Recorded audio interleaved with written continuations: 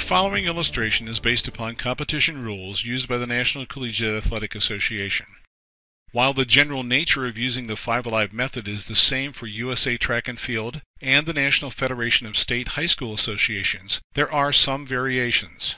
The International Association of Athletics Federations does not use the Five Alive method.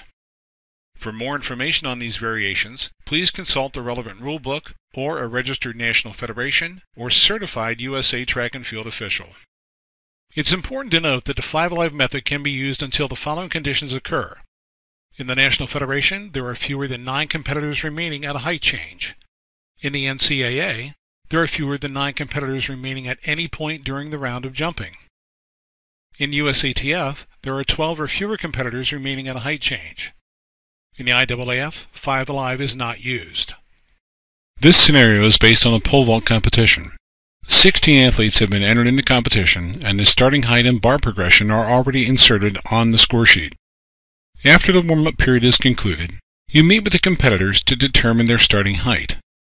It's usually a good idea to apprise them of the opening height prior to the warm-up period and to give them the first three or four bar heights in the progression. From your brief meeting, competitors Mathis and Peterson confirm that they will start jumping at the second height, 4.65 meters. To indicate that they're passing the first height of 4.50 meters, commonly known as opening height, draw a line through all three boxes under the column on the score sheet. You now have 14 competitors remaining. Number the first five is shown. This will be the first live pool.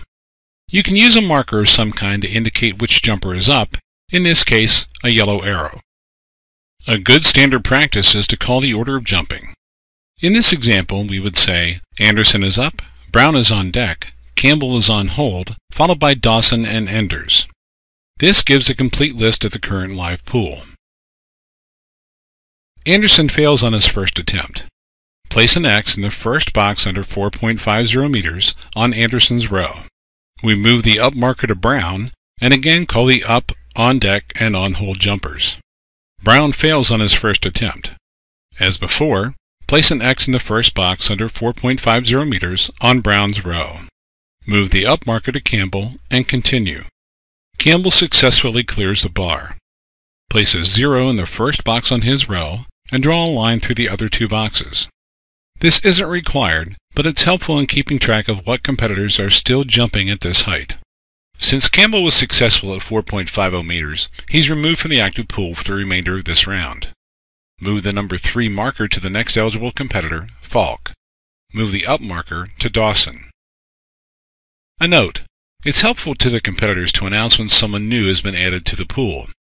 One way of doing this is to announce who is up on deck and on hold, and then something like, followed by Brown and Falk, now active. This lets the competitor know that they're now in the active pool. It's also a good practice to look in the direction of the competitor so that they clearly hear you when you're speaking to them. Dawson clears the bar in his first attempt. As before, place a zero in the first box on his row and draw a line through the other two attempt boxes at 4.50 meters. As we saw a moment ago, move the number 4 marker to the next eligible competitor, George. Move the up marker to Enders and call the complete order. Enders is up, Anderson is on deck, Brown is on hold, followed by Falk and George, now active. Enders misses. Enter the X to indicate the miss. Move the up indicator to Anderson for his second attempt. Anderson fails a second time. Indicate this by placing an X in his second box on his row. Move the up indicator to Brown. Brown clears the bar in his second attempt. Enter a zero in the second box and draw a line through the third attempt box under 4.50 meters. Falk is now up for his first attempt. Move the up indicator to him, and move the number 2 indicator to Harris, who is now in the active pool. Falk misses on his first attempt. Move the up indicator to George. George clears the bar. As before, put a 0 in the first box and a line through the second and third boxes under 4.50 meters. Move the up indicator to number 5, Enders. Move the number 4 indicator to Isaacs and announce the order of jumping. Enders fails a second time. When Anderson is called up again, he indicates that he'll be passing his third attempt at this height. Draw a line through the last box in his row under 4.50 meters. It's important to note that he still has one attempt remaining at a subsequent height. He's still in the competition, but has concluded jumping at this height only. Move the number 1 indicator to the next eligible jumper, in this case Jackson. Move the up indicator to Harris for his first attempt. Harris fails on his first attempt at 4.50 meters. Move the up indicator to Falk for his second attempt. Falk clears 4.50 meters on his second attempt. With Falk's clearance at 4.50 meters, he's removed from the active pool at this height. It also brings us down to eight competitors remaining at this height. At this point, under NCAA rules only, we would abandon five alive and go to a single rotation order. You may ask how we set the order so that we can accommodate those jumpers who have already taken attempts and those that have not. In consultation with the NCAA Rules Committee Secretary and longtime NCAA Rules Interpreter, the referee can make a determination as to how to proceed. In our simulation, since Falk was number 3 in the live pool, we'll finish the final two jumps in this round of the live pool and then begin single rotation. Isaacs would be the next jumper, followed by Enders, who was originally number 5 in the pool, followed by Harris, Jackson, Kling, etc. This maintains the relative order of jumping, as you can see from the blue numbers. It also affords Isaacs a bit more space, if needed, between attempts. Normally, 5 Alive allows for four other attempts before a competitor must take another attempt. This retains the spirit of those conditions. Isaacs is up. He clears 4.50 meters. We now return to Enders for his third attempt. Enders fails on his third attempt and is subsequently out of the competition. Harris is now up for his second attempt. Harris fails for the second time. Jackson is now up. Jackson fails on his first attempt. Kling is the next jumper.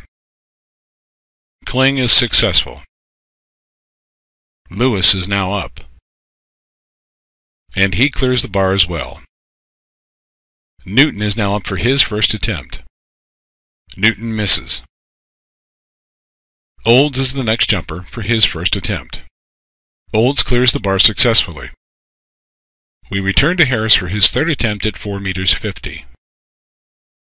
An important note. Even though only three competitors remain in the competition, we do not extend the time between attempts. This is the same for all jurisdictions. Harris fails and is eliminated from the competition. Jackson is now up for his second attempt. Jackson clears the bar. Newton is the only remaining competitor. Since this is his second attempt and it's not consecutive, he has the standard amount of time to complete the attempt. Newton fails on his second attempt. Please refer to the information box. When an athlete is taking consecutive attempts at the same height, the time between attempts is extended. In this example, Newton would have 3 minutes before he must initiate his third attempt at 4.50 meters. In the case of the pole vault, this period would begin once the bar is placed and the standards are set. After the allotted time, Newton fails on his third attempt. Jumping has concluded at 4.50 meters. The bar is now raised to the next height, 4.65 meters, and the order of jumping is reset. Since we have 13 competitors remaining at this height, we return to 5 alive and number the athletes as shown. It's important to remember that Anderson, by virtue of passing his third attempt, will have only one attempt at this height. Should he fail, he's eliminated from the competition since it would be his third consecutive miss. If he clears 4.65 meters, he remains in the competition.